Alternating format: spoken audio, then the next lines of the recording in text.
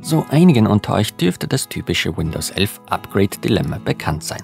Neben den sehr strengen Systemvoraussetzungen wie das häufig diskutierte TPM 2.0 sind aber Secure Boot und die GPT-Partitionstabelle, die mit der UEFI-Firmware generell mit einhergehen, ebenso von Notwendigkeit, zumindest offiziell. Workarounds bzw. Umgehungen gibt es natürlich so gut wie immer. Was aber, wenn ihr keine Frischinstallation, sondern auf Windows 11 aufrüsten wollt, aber euer bestehendes Betriebssystem Windows 10 auf der altmodischen Legacy MBR Partitionstabelle basiert? Häufig hört und liest man also, wie man den MBR in die aktuellste GPT-Tabelle konvertiert, ohne dabei alles auslöschen bzw. all seine ganzen Daten verlieren zu müssen. Klar gibt es auch völlig kostenfreie Möglichkeiten, darunter sogar das ein oder andere Tool von Microsoft selbst. Allerdings sieht Benutzerfreundlichkeit etwas anders aus, schreckt daher viele verständlicherweise ab. In diesem Video führe ich euch nun das allgemeine Dilemma und seine Tücken vor und zeige anschließend, wie ihr schnell und effektiv MBR in GPT umwandeln könnt, ohne Daten zu verlieren. All das mit dem nützlichen Tool namens Minitool Partition Wizard. Dieses dürfte vielen sicherlich schon jahrelang bekannt sein. Es ist tatsächlich recht vielseitig, bietet nicht nur allgemeine Partitionierungsfunktionalität, sondern beherrscht ebenso Klon- und Konvertierungsvorgänge. Einiges davon ist sogar mit der völlig kostenfreien Version umsetzbar. An der Stelle will ich jedoch ganz klar erwähnt haben, dass es sich hierbei um einen gesponserten Beitrag meinerseits handelt, was so viel heißt, dass ich einen kleinen bescheidenen Geldbetrag fürs heutige Video kassiere.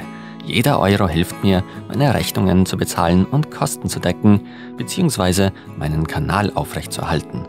Dennoch nimmt Sponsoring keinen Einfluss auf meine Meinung, weswegen ich euch ebenso sage, dass nicht nur Minitool solche Features beherrscht, sondern andere Softwarepakete vieler Konkurrenten genauso.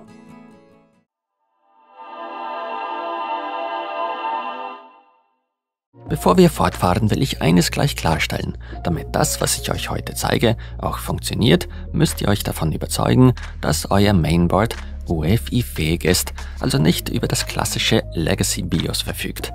Natürlich gäbe es bestimmte inoffizielle Umwege, doch es müssten bestimmte Modifikationen stattfinden, auf die ich heute nicht näher eingehen möchte.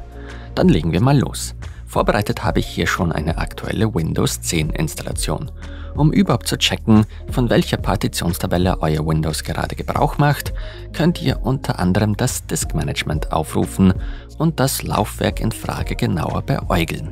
Ihr seht, mein Windows 10 läuft in dem Fall noch mit dem Master Boot Record MBR. Ignoriert übrigens mein zweites Laufwerk, das mit Windows 11 betitelt ist. Das ist nämlich meine persönliche Privatinstallation. Ein Weg, um zu checken, ob euer PC Windows 11 tauglich ist, wäre sich das PC Health Check Tool von Microsoft herunterzuladen. Dieses spuckt in meinem Fall auch gleich aus, dass Secure Boot vonnöten ist. Würde ich nun meinen Windows 11 USB-Stick mit meinem PC verbinden und die Installation starten wollen, würde man mich genau wegen Secure Boot nicht weiterlassen. Secure Boot ist aber eher etwas, was mit UEFI und somit GPT-Partitionstabellen in Verbindung gebracht wird. Trotzdem stelle ich mich erstmal unerfahren und gehe Schritt für Schritt der Spur nach. Ich boote also in mein UEFI BIOS, also in die Firmware meines Mainboards und mache die Secure Boot Funktion auswendig. Diese Funktion versuche ich einfach zu aktivieren, was mir dann leider missglückt. Es ist ein Platform Key, also Plattformschlüssel notwendig. Ein solcher lässt sich auch ohne gröbere Probleme installieren, doch nun heißt es, dass CSM deaktiviert werden müsse. Naja, auch kein Problem. Nach Abspeichern und einem Reboot lässt sich dadurch auch endlich Secure Boot aktivieren. Blöd nur, dass dadurch das altmodische Legacy-Laufwerk im UEFI BIOS wegfällt, also genau da, wo mein Windows 10 drauf ist, obwohl ja die über SATA angebundene SSD nach wie vor angeschlossen ist. So kommen wir also hier nicht weiter. Die Schritte, die ich getan habe, müssen also erstmal wieder rückgängig gemacht werden. Wieder zurück im Disk Management könnte man hier gucken, ob sich eventuell die Möglichkeit ergibt, hier ganz simpel in GPT umzuwandeln. Geht natürlich nicht. Zeit also, um das Softwarepaket Minitool Partition Wizard zur Hilfe zu nehmen.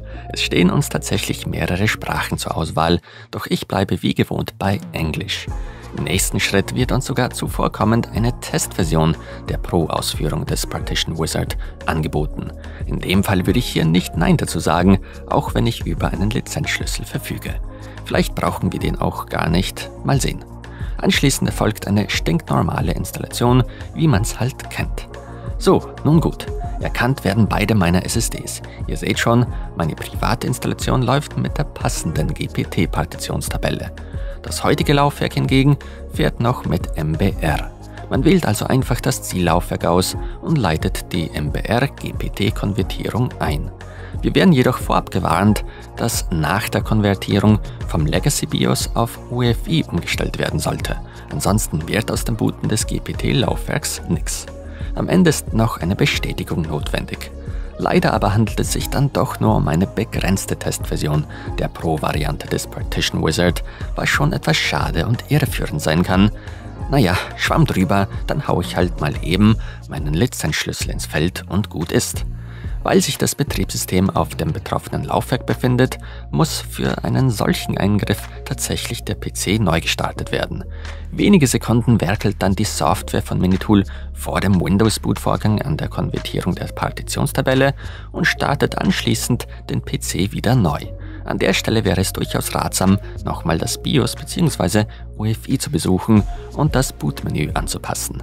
Wie durch Zauberhand erkennt nun mein UEFI-BIOS die GPT-Partition und erlaubt es mir ohne weitere Anpassungen, hier von meinem noch Windows 10 Laufwerk zu booten. Das klappt auch wie am Schnürchen und Datenverlust kann ich keinen melden. Sämtliche Programme und persönliche Dateien sind alle noch vorhanden. Daran hat sich nichts geändert. Die Arbeit des Minitool Partition Wizard wäre an der Stelle getan. Es ist durchaus erschreckend, wie einfach sowas doch gehen kann, wenn man bedenkt, dass es sich um einen durchaus größeren Eingriff handelt. Der Rest erklärt sich nun wahrscheinlich von selbst.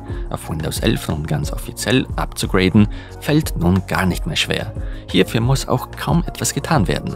Nach vielleicht 10 bis 20 Minuten habe ich meine veraltete Windows 10 Installation in eine brandaktuelle mit Windows 11 verwandelt. Der Minitool Partition Wizard verdient an der Stelle für seine Simplizität, Geschwindigkeit und natürlich Benutzerfreundlichkeit ein dickes Lob. Natürlich war der gezeigte Vorgang nicht kostenfrei. Ob es einem das Geld am Ende wert ist, muss jeder für sich entscheiden. Alternativ könnte man auf die etwas aufwendigere und kompliziertere Option von Microsoft selbst ausweichen oder legt einfach eine Frischinstallation von Windows 11 an mit den bereits passenden Voreinstellungen. In diesem Sinne verabschiede ich mich erstmal für heute und hoffe, dass dieses Video zumindest dem ein oder anderen etwas gebracht hat. Vielen lieben Dank fürs Zuschauen, Leute.